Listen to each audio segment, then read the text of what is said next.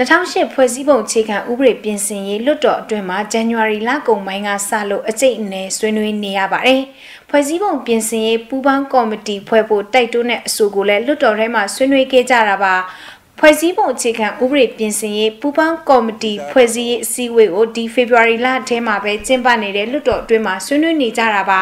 ဖွဲ့စည်းပုံပြင်ဆင်မှုဆိုတာအမျိုးသားဒီမိုကရေစီအဖွဲ့ချုပ် NLD ရဲ့အဓိကကြတဲ့ရွေးကောက်ပွဲမဲဆွယ်ကတိတစ်ခုပဲဖြစ်ပါတယ်အစိုးရတက်တန်း၃နှစ်ကျော်မှဒါကိုအကောင့်ထဲပေါ်ဖို့စ조사လာတာလို့ဆိုရမှာပါ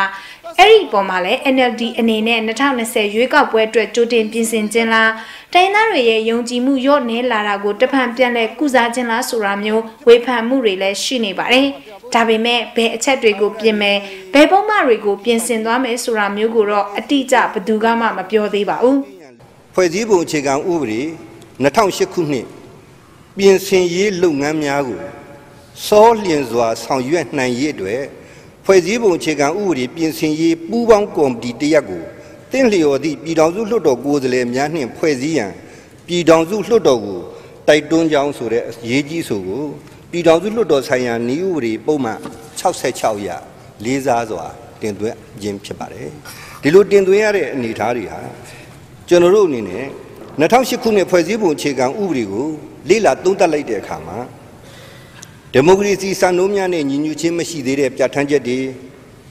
ရှေ့နောက်ညီညွတ်ခြင်းမရှိဘဲကွဲလွဲဆန့်ကျင်နေတဲ့ပြဋ္ဌာန်းချက်တွေပြည်တွင်းငြိမ်းချမ်းရေးအတွက်မရှိမဖြစ်လိုအပ်တဲ့စစ်မှန်တဲ့ဒီမိုကရေစီပြည်ထောင်စုထူထောင်ရေးအတွက်အဟံအတားဖြစ်နေတဲ့ပြဋ္ဌာန်းချက်တွေပါတီစုံဒီမိုကရေစီစနစ်ကိုဖော်ဆောင်ရမှာအဟံအတားဖြစ်စေတဲ့ပြဋ္ဌာန်းချက်တွေအပြန်အလှန်ထိန်းကျောင်းရမယ်ဒီမိုကရေစီမန်နိုင်ကြီး၃ရက်အားတစ်ဖက်ဆောင်နှင်းဖြစ်စေတတ်တဲ့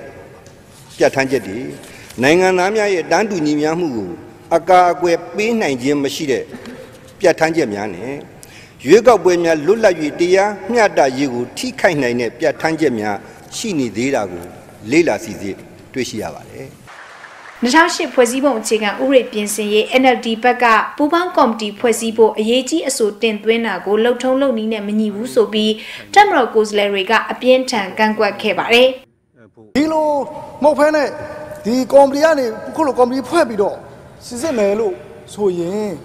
ဘယ်ပုံမှန်တွေကိုစစ်စစ်မှာလဲကော်မတီကဘာတွေလုပ်မှာလဲဆိုတာကပုံမှန်တွေကလည်းအန်စီကော်မတီရဲ့လုပ်ပိုင်ခွင့်ကလည်းဘယ်လောက်ထိကျေပြမယ်ဆိုတာအဲကျွန်တော်တို့မသိနိုင်ပါဘူးဒါကြောင့်မလို့ကျွန်တော်တို့ကတော့လုံထုံးလုံနေတဲ့အညီသာအဲဆောင်းသင့်ပါတယ်လုံထုံးလုံတွေကိုကြော်လွန်းတဲ့အမျိုးမလုပ်မလုပ်သင့်ပါကြောင်းတင်ပြအပ်ပါတယ်နောက်ပြီးတော့လည်းဒီဟာကိုကျွန်တော်တို့က ဒီလိုအစိုးတင်သွင်းပြီးတော့မဲခွဲဆုံးဖြတ်လိုက်မယ်ဆိုဒါမဲခွဲဆုံးဖြတ်မယ့်ကိစ္စမဟုတ်ပါဘူးခင်ဗျဒါကိုကျွန်တော်အနေနဲ့လေးလေးနဲ့တင်ပြပါတယ်ခင်ဗျတက်မတော်ကာကွယ်ရေးဦးစီးချုပ်ဗိုလ်ချုပ်မူကြီးမင်းအောင်လှိုင်ကလည်း2008ဖွဲ့စည်းဖို့အခြေခံဥပဒေကိုပြင်သင့်ပြင်ထိုက်တဲ့အချိန်မှာပြင်ဖို့အရင်အစိုးရလက်ထက်ကလေးကသဘောတူပြီးသားဖြစ်တယ်လို့ဇန်နဝါရီလကုန်ပိုင်းကပြောဆိုခဲ့ပါတယ်။ သမရဦးသိန်းစိန်လက်ထက်ကငြိမ်းချမ်းရေးလုပ်ငန်းစဉ်တွေမှာဦးဆောင်ခဲ့တဲ့ပြည်ထောင်စုဝန်ကြီးအငိမ့်စာဦးအောင်မင်းကလည်းဖွဲ့စည်းပုံကိုပြင်မယ်ဆိုရင်ခေတ်စနစ်နဲ့အညီပြင်ဆင်ဖို့လိုအပ်တယ်လို့ပြောပါတယ်။ဖွဲ့စည်းပုံချမ်းပြီးဆိုတာဟိုခေတ်နဲ့မီအောင်စနစ်နဲ့မီအောင်အမြဲတမ်းပြင်နေရတာ။မပြင်ရဘူးဆိုတာမရှိ။အဲ့တော့ဒီမုံပြင်ကြီးကတော့နီလန်း နှစ်တွဲကျွန်တော်အဓိကအပြင်နီလန်းနှစ်တွဲလွတ်တော်ထဲမှာပြင်တဲ့နီလန်း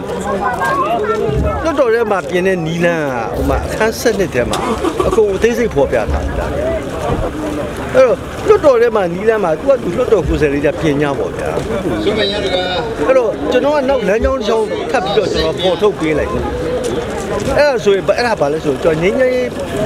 ဒီဖြစ်စဉ်ထဲမှာ ဒီနိုင်ငံရေးဆွေးနွေးပွဲတွေလုပ်မယ်တိုင်းရင်းသားတွေကဘာတွေလိုချင်ကြလဲအဲ့ဒီလိုချင်တဲ့ဥစ္စာတွေအားလုံးကိုကျွန်တော်တို့ကပြင်မှာဆွေးနွေးမယ်အားလုံးသဘောတူညီရအောင်ယူမယ်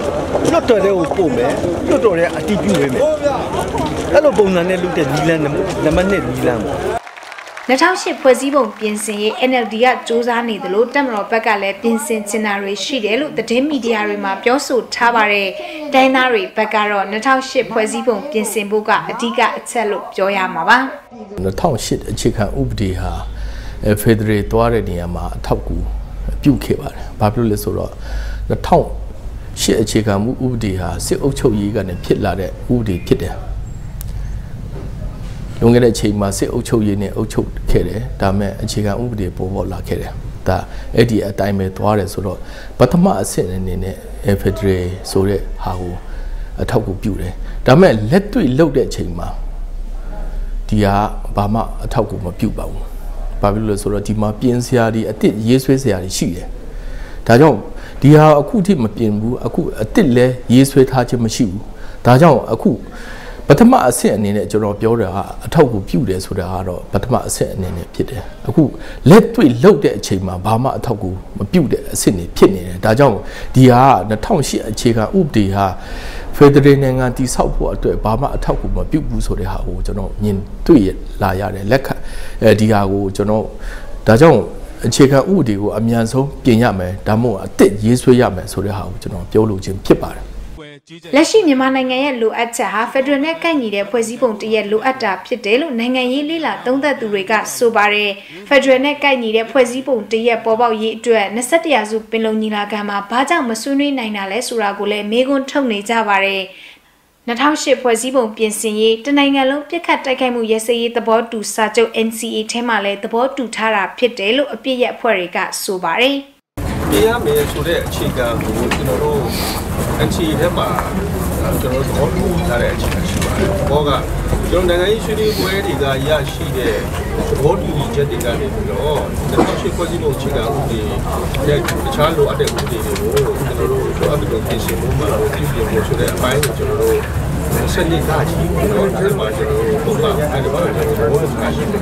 ။တော့ကျွန်တော်တို့ရဲ့သဘောထားကိုပြောချင်တာတော့ဒီဖွဲ့စည်းပုံကပြင်ဒီဖွဲ့စည်းပုံပြင်ချင်းကဒီနိုင်ငံအတွက်ပုံပြီးဟိုဟိုစာပေါ်ကောင်းမှုနဲ့အနာဂတ်ကိုရှိရှိပါတယ်လို့ပြောလို့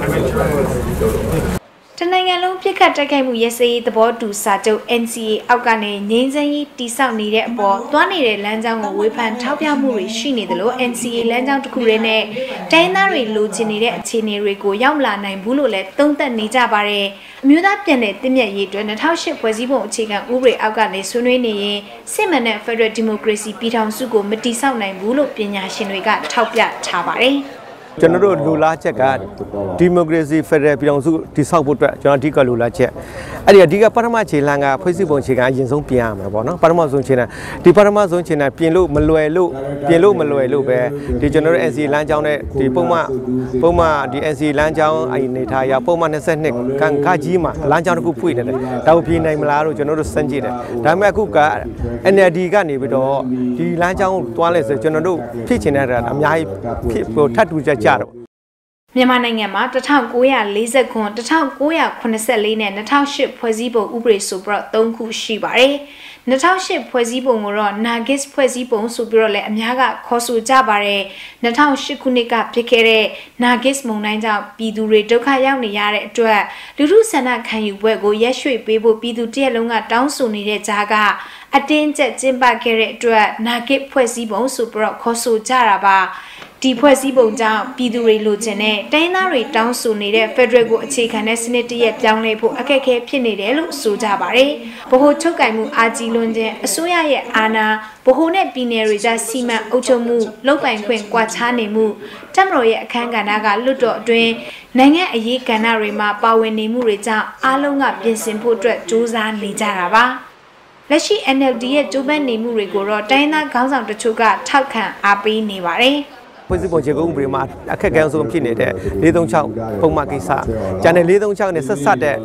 436နဲ့တရိုက်ဆက်ဆက်တဲ့ပုံမှန်69ခုရှိတယ်ပေါ့နော်69 90ကျော်9ခုရှိတယ်အကယ်436ကိုအကယ်ပြုတ်သွားမယ်ဆိုရင်ကျန်တဲ့ဟာလည်းစစ်ဆက်ဆွေးနွေး25ရက်ကနုကိစ္စတို့ကာလုံကိစ္စတစ်ချက်ချင်းနောက်တော့ဝင်ချုပ်ကိစ္စတစ်ချက်ချင်းကပြီးပြီးဆွေးနွေးလို့လွယ်တာပေါ့ဒါ436နဲ့ခန္ဓာတစ်ချက်ခန္ဓာအတွက်ကြောင့်တခြားကိစ္စလည်းတခြားတိစုနေတဲ့ပုံမှန်ကိစ္စလည်းခက်ခဲလာတယ်ဒါကြောင့်မို့ကျွန်တော်ပြောချင်တာကဒီအခု NAD သွားတဲ့လမ်းကြောင်းကလည်းမှန်တယ်။မကယ်၍အစင်ပြေချောမွေ့ဆိုတော့တော်တော်လေးကောင်းမယ်။ဒါပေမဲ့အစင်ပြေမချောမွေ့တခြားနည်းနဲ့ရှာရင်တော့ဘလို့သူတို့ချင်းဘလို့ညှိမလှုပ်တော့မှဘလို့ညှိမလဲတော့ကျွန်တော်တို့ကဒါသူတို့စူးစမ်းနေတဲ့အပိုင်းပေါ့နော်။ဒီနေရာမှာတချို့နိုင်ငံရေးလေးလာသုံးသပ်သူတွေကပြင်ဆင်ယုံနဲ့မရဘဲအသစ်ရေးဆွဲတင်တယ်လို့လည်းပြောဆိုမှုတွေရှိနေပါတယ်။လက်ရှိ2008ဖွဲ့စည်းပုံအခြေခံဥပဒေအောက်မှာတော့ဗဟိုချုပ်ကင်မှုကြီးမားလွန်းနေတာကြောင့်တင်စားတခွဲဝေရေးမှာပဲဖြစ်ဖြစ်စီးပွားရေးလူမှုရေး ဒေသဖွံ့ဖြိုးရေးပညာရေးစတဲ့အရေးကိစ္စတွေအလုံးဘ ਹੁ ကိုတွားနေရတဲ့အနေအထားကိုတိုင်းသားတွေအနေနဲ့လုံးဝမလိုလားဘူးလို့ဆိုကြပါတယ်။ပြင်မယ်ဆိုပြီးမှအခုဒီဟာစနစ်ရှိလာပြီ။အခုထိမပြင်သေးဘူး။ဘာမှလည်းဟုတ်တိပတ်တိမပြင်ဘူး။ပြင်တဲ့ဟာတွေလည်းဘာမှလက်တွေ့အလုပ်မလုပ်ခဲ့ဘူး။ဒါကြောင့်ဒီဟာတွေကဘာမှအဲပြည်သူလူထုအတွက်အကျိုးမရှိဘူးလို့ကျွန်တော်ပြောချင်ပါတယ်အစိုးရနဲ့ မင်းအွန်လိုင်းစစ်တပ်ကနေဒီဟာကိုအမြန်ဆုံးလဲလျောပြီးမှပြင်မယ်အစ်စ်ပြုတ်ပြင်ပြီးမှရေးဆွဲမယ်ဆိုတဲ့ဟာကိုတို့လုတ်မယ်ဆိုအမြန်ဆုံးဖြစ်လာနိုင်တယ်ဒါမဟုတ်ဘူးဆိုရင်အဲဒီဟာကိုအဲဒီ2008အခြေခံဥပဒေကို NLD ကနေပြင်ဆင်မယ်ဆိုတဲ့ဟာတွေကတော့အဲ for show ပဲဖြစ်ပါလိမ့်မယ်ဒါကြောင့်လက်တွေ့လုပ်ဖို့ဆိုတာကတော့ဒီနှစ်ခုစလုံးကအများဆုံးလက်တွေ့အကောင့်တွေပေါ်ဖို့လိုလိုပါတယ်ဆိုတဲ့ဟာကိုကျွန်တော်ပြောလိုပါတယ် 2008ဖွဲ့စည်းပုံကိုမပြင်နိုင်တဲ့၍ပြည်တွင်းစစ်မငြိမ့်နိုင်တယ်လို့စစ်မှန်တဲ့ Federal ပြည်ထောင်စုကိုမတိစောက်နိုင်ဘူးလို့ဆိုကြပါတယ် NCA စာချုပ်ကလည်း2008ဖွဲ့စည်းပုံအောက်မှာရောက်သွားမှာဖြစ်တယ်လို့21ရာစုပင်လုံဆိုတာကလည်း2008အောက်မှာကျင်းပနေတာဖြစ်တဲ့အတွက်ဘာမှအပြေမရပဲအမျိုးသားပြည်လဲတည်မြဲရေးဆိုတာအလံဝင်းနေအောင်မယ်လို့ဆိုကြပါတယ်ပြည်ထောင်စုကအမိကံပါပဲဗျာအားလုံးကဘိုးကချုပ်ကန်ထားတာဆိုတော့အဲ့တော့ကျွန်တော်တို့ရဲ့ပြဿနာဘာလဲဆိုတော့ Federal ပြည်ထောင်စုလို့ဆိုတာကပြည်နယ်တွေပေါင်းစုထားတာဖြစ်တာအဲ့တော့ပြည်နယ်တွေမှာထိုက်တဲ့အခွင့်အရေးနဲ့အခွင့်အာဏာတွေရှိဖို့လို့ဘယ်ဟာဘိုးမှာချုပ်ကင်ထားမယ်ဘယ်ဟာပြည်နယ်တွေခွဲဝေပေးမယ်ဆိုတဲ့ဟာရှိဖို့လိုအပ်တယ်လက်တွေ့မှာအဲ့ဒါကိုဒီနေ့ဒီအကောင့်ထဲပေါ်နိုင်သေးဘူးဒီနေ့ဒီကျွန်တော်တို့က Federal ပြောတယ်ပြည်ထောင်စုပြောတယ် Federal ပြောတယ်ပြည်ထောင်စုပြောတယ်တိုင်းသားပြည်နယ်တွေမှာအခွင့်အရေးအနည်းတော့လူတွေကဘာဖြစ်လာလဲဆိုတဲ့ခါကျတော့ခုနအထက်ကလူငယ်တွေပေါ့ဗျာလူကြီးတွေကတော့မလုပ်နိုင်တော့ပါဘူးနော်လူငယ်တွေကဘာဖြစ်လာလဲဒါဆိုရင်ငါတို့